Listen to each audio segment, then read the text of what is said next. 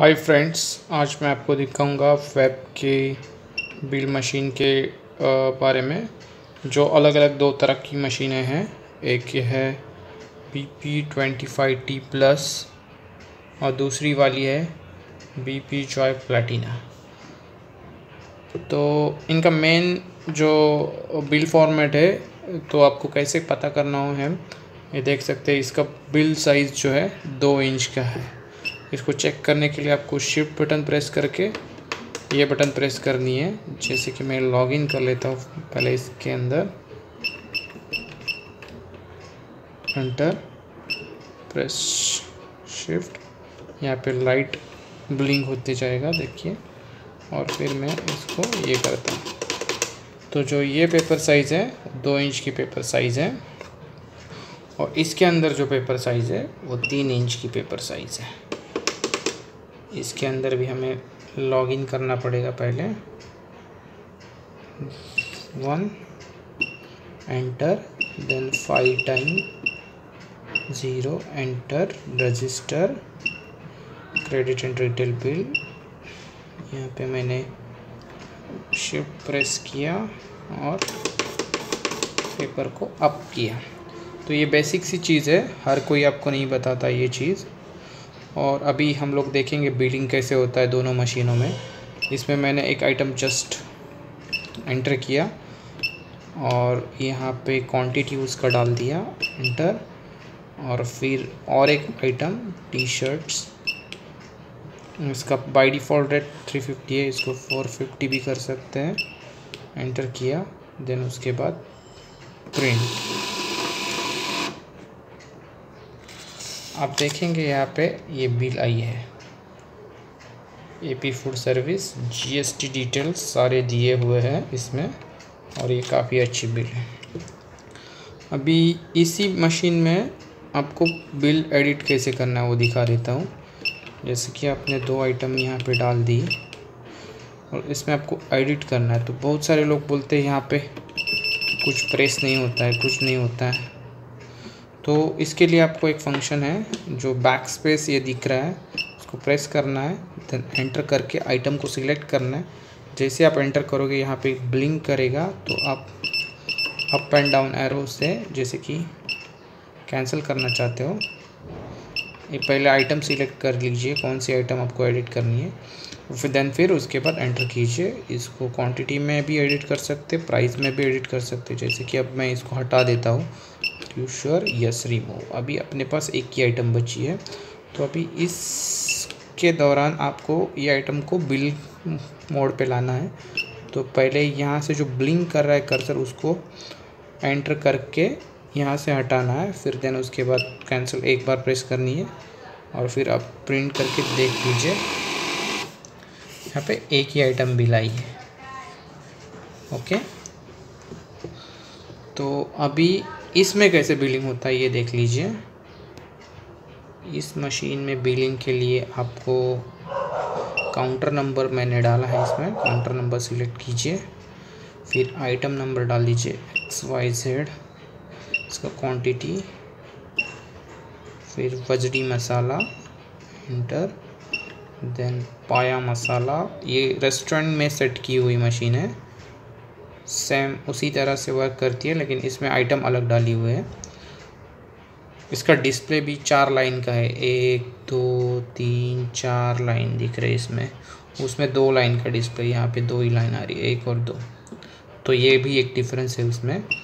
फिर मैं प्रिंट करता हूँ।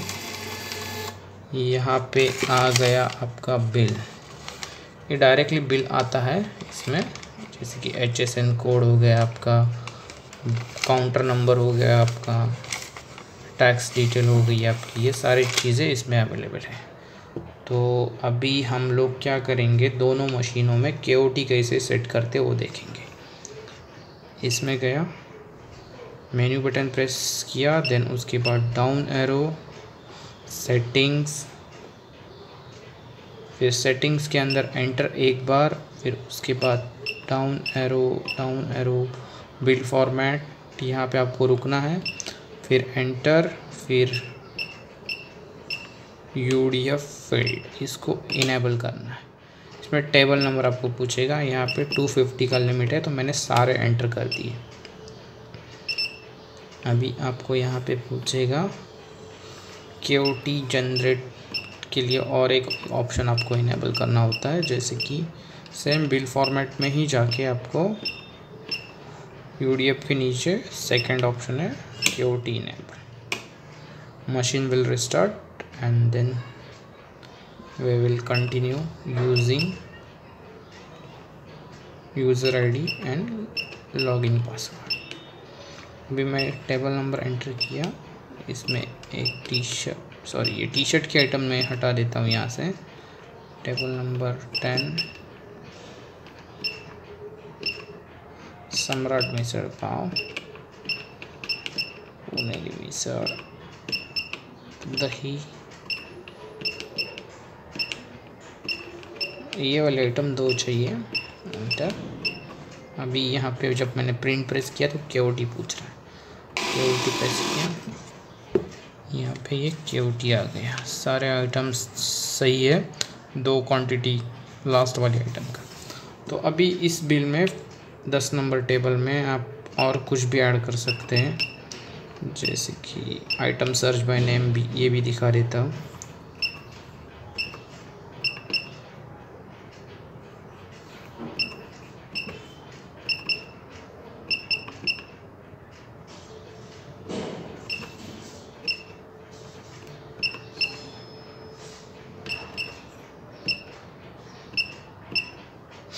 ये ऑप्शन भी है इसमें। जैसे कि कुछ एक्स्ट्रा आइटम सर्च करते हैं। एक्स्ट्रा फरसान बाउल एक्स्ट्रा शेव इसको ऐड किया दो बाउल ओके और ये अभी सारी टोटल आइटम्स हो गई है। ये दो ये दो चार और ऊपर वाली चार टोटल आठ आइटम्स हो गई।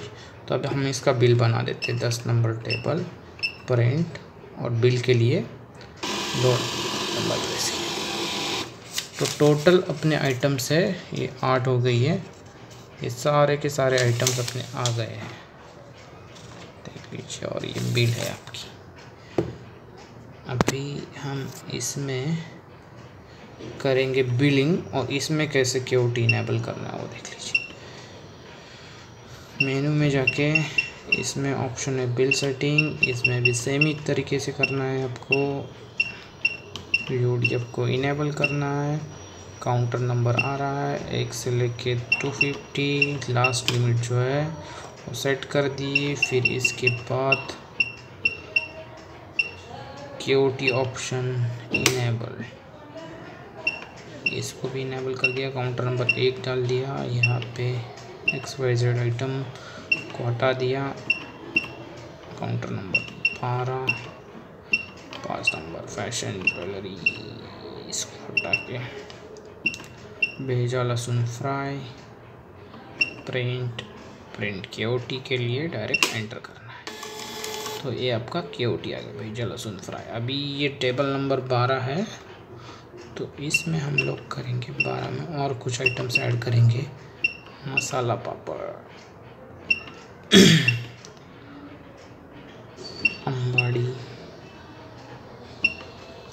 मंडी मसाला। और इसमें भी सर्च बाय नेम करते हैं। पहले शिफ्ट प्रेस की हटा दीजिए और फिर सर्च।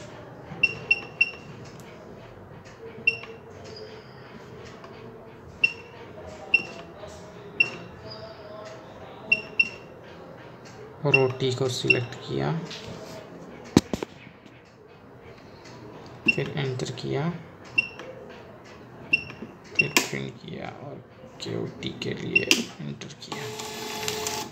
तो ये टोटल मसाला अम्बाड़ी मुंडी मसाला मसाला पापड़, ये सब ऐड हो गया। अभी इसका बिल भी उसी तरीके से बनाना है। इसके टेबल नंबर बारह डाल दिया प्रिंट करना है। प्रिंट के लिए up and down arrow press करनी है। प्रिंट बिल को ये करना है। तो इसकी बिल भी आपको आ गई है उसी तरह से। इसमें चाहिए तो आप एचएसएन हटा सकते हो। उसके लिए आपको यहाँ पे जाना है। सेटिंग्स बिल फॉर्मेट में। अब पैरो प्रेस कर रहा हूँ मैं, ताकि आसानी से मिले, क्योंकि इसमें बिल फॉर्मेट में बहुत सारे ऑप्शंस हैं। तो एच एस एन मिल गया। इसको डिजेबल कर दिया। अभी मैं आपको एक बिल बना के बताता हूँ। फ़ैशन ज्वेलरी पीसी कोड तो ये मोस्टली एच एस एन वाले जो होते हैं, वो क्लोथिंग के शॉप क्लोथिंग सेंटर या फिर अलग अलग दुकानों में यूज़ होती हैं। तो इस तरीके से अभी without H S N code printing हो गया। लेकिन आप यहाँ पे सेम चीज़ देखोगे ए बी सी डी अलग अलग टाइप के मैंने आइटम सिलेक्ट किए जिनका टैक्स अलग अलग है। तो वो भी यहाँ पे इंडिकेट कर रहा है फाइव परसेंट ट्वेल्व परसेंट और एटीन परसेंट तो ये ऑप्शन ये ये मशीन में भी है। और यहाँ पे आपके अलग अलग आइटम्स हैं। तो ये दोनों हो गया। अभी रिपोर्ट्स के बारे में देखेंगे। जैसे कि सबसे मेन चीज़ जो होती है आपको end of the day reports लेना तो रिपोर्ट्स के लिए आप रिपोर्ट कैसे ले तो रिपोर्ट्स के लिए आपको मेनू बटन प्रेस करनी है देन उसके बाद एंटर इस पर दो टाइप की रिपोर्ट्स है समरी एंड डिटेल्स तो डिटेल्स में सारी डिटेल्स रिपोर्ट मिलती है। इसकी bill wise day wise word bill item wise stock report user bill report tax report duplicate item bill report UDF report return item report charges calculator report फिर से bill wise फिर then मैं जाता हूँ summary में। Summary में आपको monthly yearly rate wise UDF wise hourly और ये यूज़र वाइज फिर मंथली तो हमें जो निकालनी है, निकाल सकते हैं। अभी मैं फ़िलहाल आपको दिखा देता हूँ। जो दिक्कत ज़्यादा आती है लोगों को डिटेल रिपोर्ट में जाके आइटम वाइज रिपोर्ट निकालने में। तो करंट डे सिलेक्ट किया, इसमें प्रीवियस और करंट डे आपको मिलेगा। इसमें कॉपी का इसमें खाली दो दिन का ही रिकॉर्ड मेंटेन रहता है बिल वाइज और आइटम वाइज का करंट डे और प्रीवियस डे का, बाकी आप मंथली ईयरली तो कभी भी ले सकते हैं। तो करंट डे सिलेक्ट किया फ्रॉम वन टू जो भी मेरी लास्ट आइटम है, उसको मैंने डाल दिया रॉन्ग करके बता रहा है तो मैं अभी चेक करूँगा मेरी लास्ट आइटम क्या है। Sixty six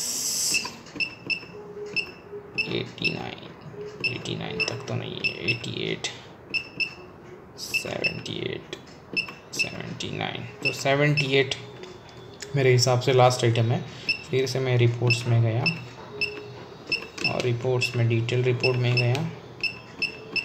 item wise report में गया। करंट सिलेक्ट किया from one to last item seventy nine थी शायद से। सेवेंटी एट ये रिपोर्ट आपकी प्रिंट हो गई है। कितने आइटम आपने सेल किए आज की डेट में? एटीन को आपका ये रिपोर्ट आ रहा है और पूरे आइटम बता रहे क्वांटिटी वाइज कितने कितने सेल हैं। फिर यहाँ पे आपको टोटल आ रहा है इसका। ओके यही मेन चीज़ है। बिल वाइज तो आपको जस्ट मैं दिखा देता हूँ बिल वाइज रिपोर्ट भी। रिपोर्ट के अंदर इसको कुछ नहीं करना है, खाली एंटर एंटर करना है तीन बार रिपोर्ट में जाके। ये बिल वाइज रिपोर्ट आपकी आ जाती है पूरे दिन भर की। ये देखो कैलकुलेटर वाली भी है और इसमें बिल वाइज भी है।